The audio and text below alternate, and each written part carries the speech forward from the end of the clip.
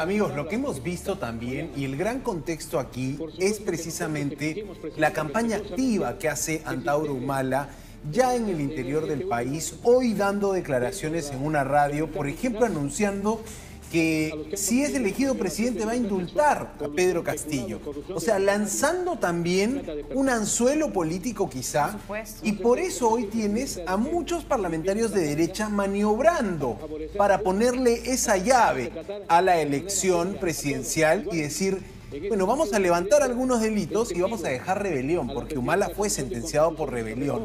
Eh, por eso te estamos haciendo la pregunta, eh, ¿estás de acuerdo con que se prohíba la postulación de sentenciados por el delito de rebelión.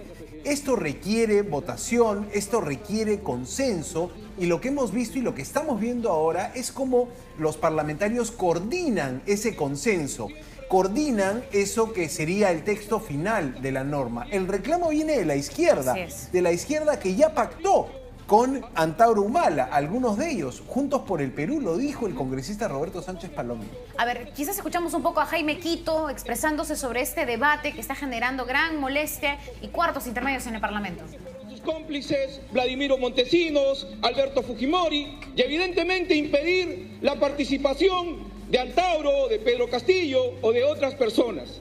Así es que si quieren hacer cambios en la Constitución, seamos, sinceremos esto y permitamos que la población participe. Si queremos hacer un cambio a la Constitución, vayamos a una asamblea constituyente para que el pueblo decida. Y no aquí porque no tenemos el respaldo de la ciudadanía. Con un 4, con un 5%, no podemos aprobar normas constitucionales. Demos, devolvámosle el poder al pueblo, que es la única alternativa de cambio. Tiene la palabra la congresista Francis Paredes, hasta por dos minutos. Muchísimas gracias, estimado presidente. Un saludo a la representación nacional una vez más. Nosotros pedimos, presidente, creo que una de las colegas se ha pedido que podamos ir y solicitamos aquí que vayamos al voto para pedir que se pueda incluir justamente los delitos que impedían todos los sentenciados que todos los colegas han mencionado. Si tenemos que hacer un proceso libre, democrático, pues demos ese gesto a la población. Yo pido, por favor, presidente, que regrese a comisión y para ello vuelvo a pedir que vayamos al voto, por favor. Ajá. Lo que tenemos ahí es a los congresistas diciendo no tenemos un acuerdo, que regrese a la comisión, allí nos vamos a poner de acuerdo, pero ¿por qué corren en el Congreso, eh, Cari? Porque necesitas, para hacer esta reforma constitucional, necesitas dos votaciones, necesitas un alto número de votos también, ¿no? Eh, es esta la, situación y está a la cabeza Valdemar Cerrón. Eh, Alejandro Soto le dejó la posta, otra vez esta figura del presidente del Congreso diciendo, no, este lío lo tiene el Fujimorismo, que lo resuelva en este caso el segundo vicepresidente del Congreso, el señor Valdemar Cerrón. Exacto, a ver, ahí está el congresista Cutipa, ¿no? Sí, Víctor Cutipa, representante de Moquegua. Aunque no les gusten a muchos, en este hemiciclo, porque de esa forma se va a permitir de que sea el pueblo que quien de manera directa decidan quiénes conformarán esa asamblea constituyente encargada de modificar la constitución. Ya la modificaron, ya la reformaron paso a paso. Pero presidente, de esta manera no se puede permitir que se gane un partido. Los partidos se juegan en la cancha y con reglas parejos para todos. No podemos pretender inclinar esa balanza incluso con nombre propio, presidente.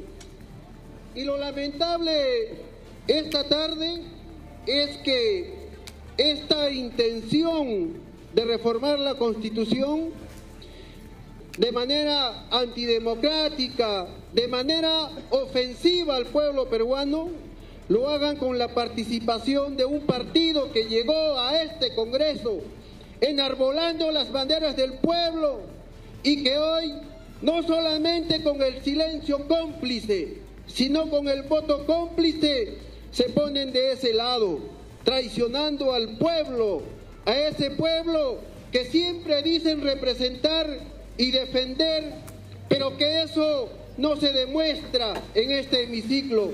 El tiempo se encargará de sancionar y de condenar, pero estamos en contra de esta forma de reformas.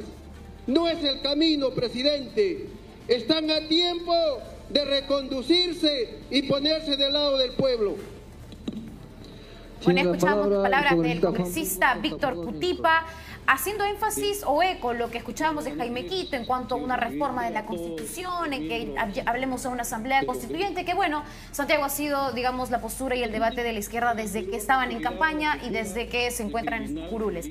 Lo que sí llama la atención es que hasta el momento no hay una decisión, no se ha, digamos, el devolver este texto a un cuarto intermedio, a lo que significa un nuevo espacio de reflexión para incluir estos delitos de colusión, peculado y corrupción de funcionarios que están vinculados a delitos de corrupción y por el cual muchos en primera instancia están sentenciados y apelándolo, ¿no? Incluso hay congresistas que en su momento llegaron a una curul con una primera sentencia en, este, en estos delitos de colusión, ¿no? Entonces, Ahora, eh, Cari, el Fujimorismo ha retrocedido y ha regresado al texto el delito de homicidio o los delitos de homicidio y secuestro, como para dejar en claro de que no quieren beneficiar a Alberto Fujimori. Se está maniobrando, están coordinando, vamos a ver si resulta en un texto eh, finalmente que sustituya o que reemplace esta norma, esta lista larga de delitos Mira, ahí tienes a Marta Moyano de la Comisión de Constitución con asesoras viendo eh, finalmente qué delitos quedarían, quizá también recibiendo algunas o haciendo algunas coordinaciones. El tema es ese, que se empieza a calentar el eh, momento electoral.